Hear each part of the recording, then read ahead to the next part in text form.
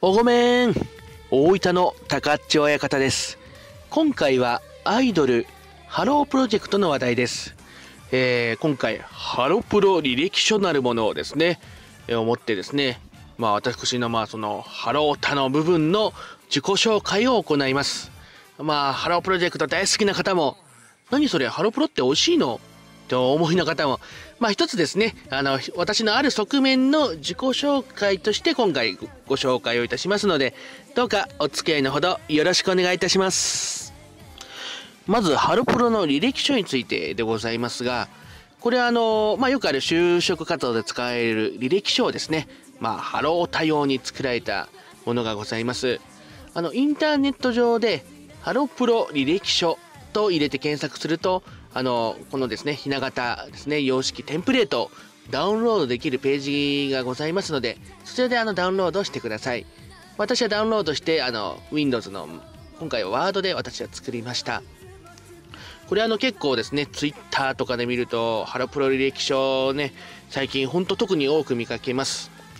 で、私もですね、この YouTube チャンネルで、ハロプロの話題、もう60動画ぐらい上げてるんですけれども、よくよく考えると、きちんとハロータとしての親方、皆さんにご紹介してなかったな、自己紹介しとらんやったなっていうのがちょっとございまして、今回、まあ、このハロプロ履歴書、初めて作りまして、えー2021年5月1日現在の、まあ、私のハロオタの一面、えーご紹介をさせていただきます。まあ、あの皆様も本当参考がてらにそしてですねぜひよろしければ皆様もこの例えばハロプロですね履歴書を使ってこう自己紹介されるとまた面白いかもしれません。えーそれでは履歴書をもとに自己紹介をさせていただきます。まずは大まかな私のプロフィールをご紹介をいたします。えー拙者名前は高知親方と申します。えーまあ本名にちなんだ名前と、まあ親方、高校時代の、まあ、につけられたニックネーム。あの、もう体がとにかく大きくて、風貌が親方にね、相撲の親方に似てるということで、えー高知親方と、えーまあ、最近は呼んでおります。あの、親方と、ぜひ、あの、気軽に呼んでください。まあ、本当はこう、好きな異性から下の名前で呼ばれると嬉しいんですけれどもね。あの、最近ですね、その、インターネットサイン会やですね、ラジオの投稿では、まあ、その、まあ、ほぼ高っちょい方名前似てるんですけれども、えー本名も使った名前で、まあ、ハロメンから呼ばれている、えー状況でございます。えー20歳を超えた男性でございます。えー後ほど最後にも出てきますけれども、えーまあ、私自身はですね、まあ、ハロプロで言うとですね、モーニング娘。の高橋愛ちゃん、そして松浦綾也と同い年です。この2021年で、まあ、35歳を迎える、えー年でございます。まあ、あの、おた歴はですね、通算で5年ということで、えーまあ、最初、中学校時代、まあ、1999年から2001年の3年間ですね、私、まあ、ね、モーニング娘。ハマってました。あの、ちょうど、まあ、中学校3年間というのが、いわゆる黄金期の時代でした。ね、ラブマシーンとかですね、ハッピーサマーウェディング、恋愛レボリューション21などがもうね、大流行り。で、おまけに私、まあ、妹がいて、で妹がね、もともと好きで、後藤真希ちゃんのファンでして、まあ、その影響で私も聞くようになりまして、本当歌版など、本当よく見てましたし、CD も買ってました。で、そっからですね、高校入って2002年ぐらいからずっと離れているんですが、まあ、2019年から、えー、まあ、小田に復帰をいたしました。まあ、簡単に言うとですね、まあ、私の地元にモーニング娘。のメンバーが握手会に来ました。ね、まあ、ミーハーな私は、ね、あの日本一ね、当時私が中学校時代のトップアイドルが、とついに握手ができる時代になったかと。でしかも調べると、まあ、私の知っている牧野マリアちゃんという、もうグラビアでは有名なスタイルいい美人な子が来るということで、まあ、その握手会に、まあ、福岡と大分に行ったんですが、そのね、マリアちゃんの神対応に、まあ、惚れたということが一つ。で、もう一つが、まあ、私の同世代のですね、地元に、まあ、ハロータの女の子がまあいまして、まあ、その子の存在も大きくてですね、このハロプロの話題を語れる存在が近くにいるということがありまして、まあ、2019年のまあですね、6月、7月、まあ、15期加入したぐらいからですね、えーハロータに復帰をいたしました。えー場所はですね、あのまあ、先ほどちらっと言いましたが、九州、大分県で住んでおります。一応ファンクラブはですね、一般のですね、ハロプロの、えーですね、あの、会員になってます。ですから、あの、青い封筒がしょっちゅう届きます。えー、続きまして、推しについてです。で、グループとメンバーとね、履歴書、えー、のございますが、えー、こちらですね、えー、と、まず、グループについてはですね、基本的にはもう全部、あの、箱押しにはしておりますけれども、まあ、ちょっとアンジュルムだけちょっとまだ詳しくないというところとか、研修生も詳しくないというところで、ちょっと間まではつけてなかったんですけれども、あの、基本的には全部、ね、好きですし、ね、で、そしてハロメンもですね、本当全員大好きというぐらい私も好きなんですが、まあ、スペースの関係上、この履歴書では、えー、5名、要は、あの、各グループの、まあ、一押しのみを記載をしております。えー、娘、モーニング娘。ですと、野中美希ちゃん、ちぇる。アンジュルムは、上國料萌衣ちゃん、かみこ。 Juice=Juice は、段原瑠々ちゃん。つばきファクトリーは、浅倉樹々ちゃん。そして BEYOOOOONDS は島倉りか様ですね。まあ、研修生今度ユニットで行くと私石栗奏美ちゃんも今ね興味ありますし米村姫良々ちゃんもねちょっと注目し始めてる状況です。あのー、まあこれ以外にも本当、どんどん推し結構変わりますし、まあ、推し増しとかですね、してますので、あの、これ以外のあのメンバーの話題についても私はあの大丈夫ですので、ご安心ください。そしてですね、次は曲なんですけれども、えー、まあ、私自身、まあ、実を言うと、まあ、この2019年に復帰してからというのは、基本的に私、あの、ハロープロに関しては、楽曲よりも、あのメンバーの方に注目してますね。あのどういうメンバーがいるんだろうってあこの子はなんとかちゃんって言うんだねとかあこういう特技があるんだとかあラジオ面白いなとかいうことでですね。まああの曲ももちろん聴くんですけれども、まあ、それ以上にこうメンバーから元気をいただいている状況ですね、まあ、具体的な活動になるとあのっていうのはまたごめんなさい。その後の話で、えですから今ここの好きな曲というところの欄ですけれどもまあ上げてるのは本当えーまあ、代表的な曲ばかりを挙げてます。まあ、娘ですと、インスピレーション、ね、あの恋愛レボリューション21のカップリング曲でね、もう黄金期の曲ですし、ね、歌方サタデーナイトも、もうベタですけど盛り上がるですね。ライブでも日替わりこうね、M ね MC っていうか DJ と、ね、最後のラインダンスどうなるかというのも楽しみですし、あと、まあ、娘の派生で、タンポポですね。あの、バラードが似合う。このタンポポの曲も大好きです。このね、バラード曲をチェルが歌ってくださると本当に私は嬉しい。で、あとですね、アンジュルムに関してはですね、まあ、スマイリーになりますけど、好きちゃん。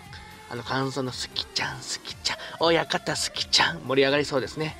はい、ごめんなさい。えー、ジュースジュースは私あの25歳永遠説から、まあ、知ったんですけれどもね、これもう未だに私聞くと本当、ミュージックビデオもね、見ると本当に泣ける。えー、もうハロプロの中でもかなりのこれ名曲ではないかなと、まあ、少ない知識の中では私思っています。で、もう一つがポップミュージック。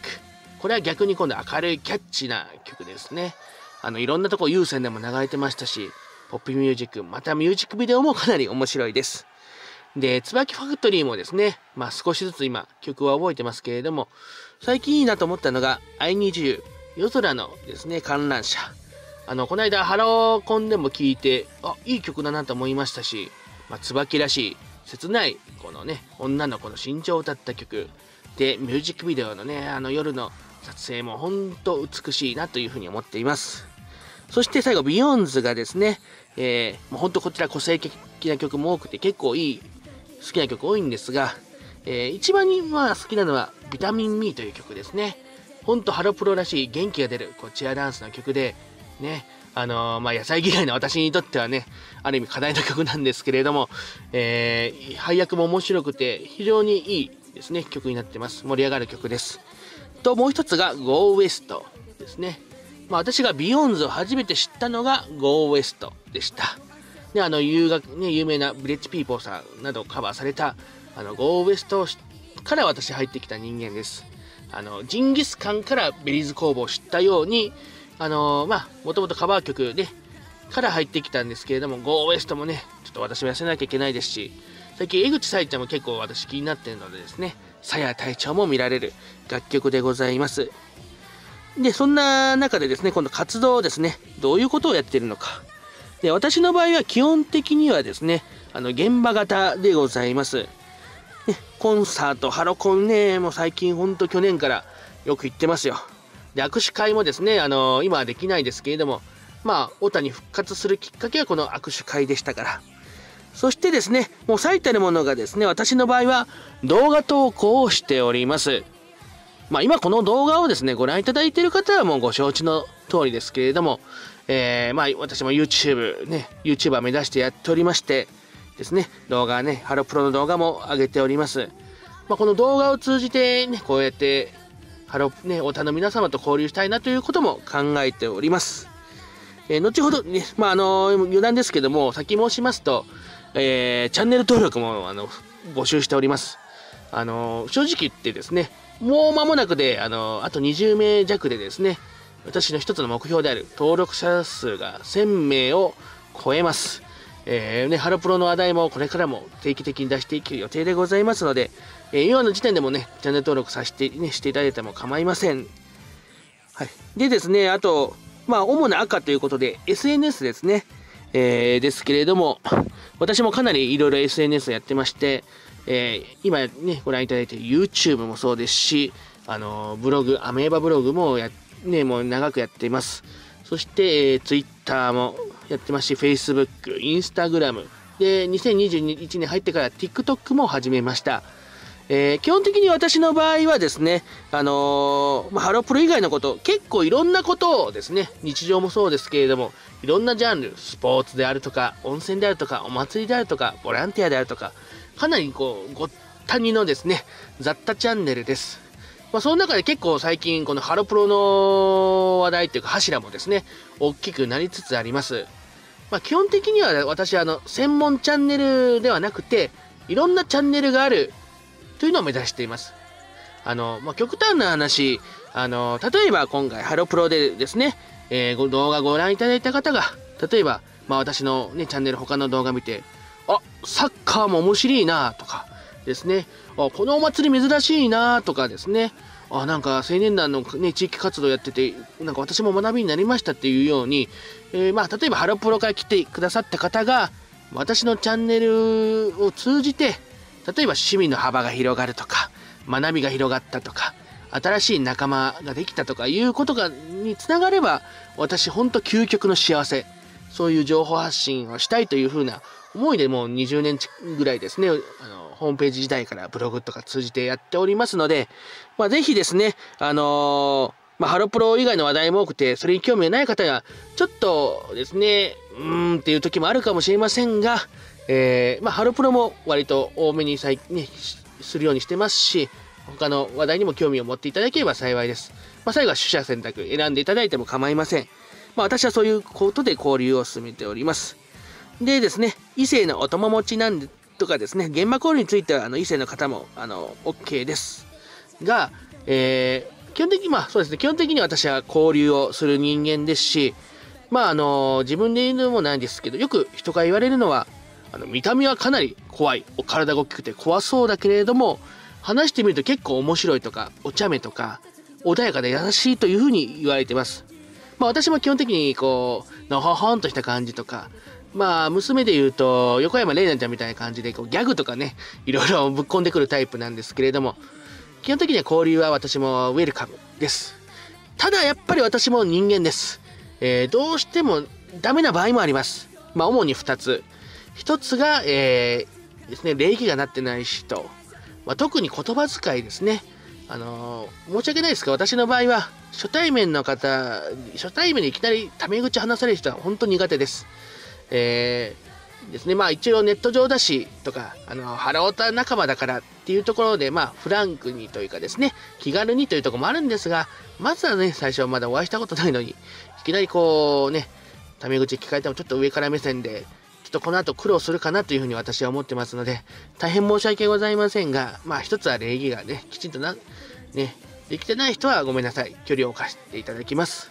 で、もう一つがですね、えー、もうね、勧誘とかね、悪徳商法とか、そういうお誘いとかしつこい方とかね、そういうことを、話を持ち帰ってくる方も、私はご遠慮させていただいております。もう素直に楽しくですね、えー、ハロプロを楽しみたいというふうに思ってますので、えー、以上2点はですね、ご了承ください。ね、それでもまあ、基本的には私は本当楽しく、えー、皆さんと交流したいというふうに思っておりますので、よろしくお願いいたします。そして最後ですね、えー、自己アピール欄ですけれども、まあ基本的にはあのもうこれまで話したことですので、そんなにですね、えー、もう言うことはないですね。えー、先ほど言った通り、基本的に私は、あの、普段日常生活では、結構あのー、まあ、例えば、ね、ハロメンが出てラジオを聞いたり、ね、あの、YouTube のチャンネルいろいろありますね。おまけチャンネルとか、ね、ハロステとか、またタイニータイニーとかも好きなんですけれども、そういうのを見て、こう、メンバーのキャラクターを楽しんでいる、えー、タイプです。そしてまあ現場にも行きますけれども、基本的には私、あの、現在も九州ですね。まあ大体熊本、福岡あたりが多いですね。大分なかなか来てくれないから。まあ本当は私も個別行きたいんですよ。席取ったりとかね、いろいろ、ね、盛りだくさん会とか行きたいんですが、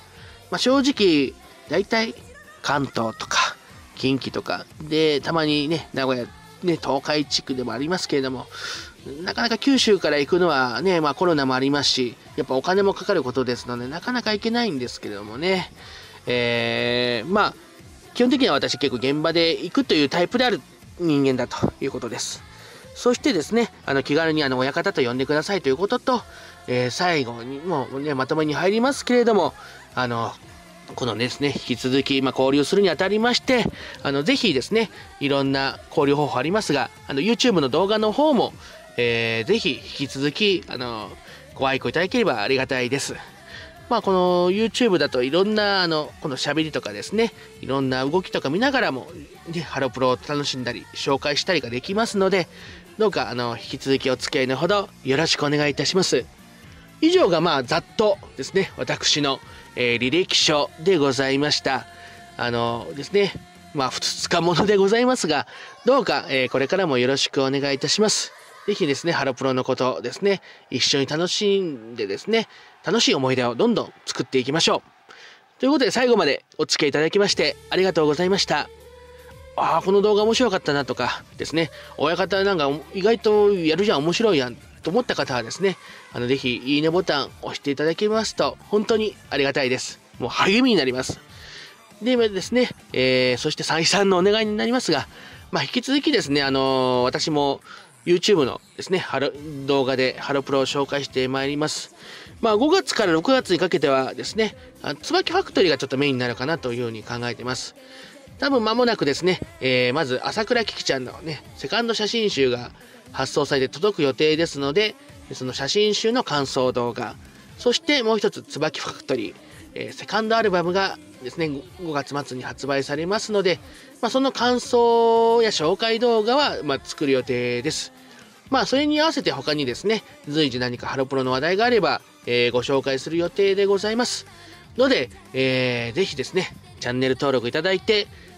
ハロプロの話題、ね、もしくはそれ以外の話題でもですね、動画でも楽しんでいただければ、そして交流ができればと思っております。どうかチャンネル登録のほどよろしくお願いいたします。えー、大台の線までもう少しというのもございますし、まあ、素直に皆さんと交流をしたいというふうな思いもございます。ということで最後までお付き合いいただきありがとうございました。それでは最後、今日も推しのために働く。